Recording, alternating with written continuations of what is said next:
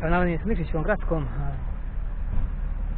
Evo parku, evo još jedan trening Bijela Nikšić Bijela.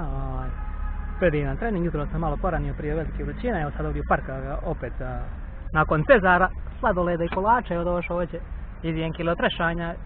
Evo, a žena na pijacu što pravi Nikšićku pijacu izbijele žena dala mi nešto dala mi nekakve breskve, refuže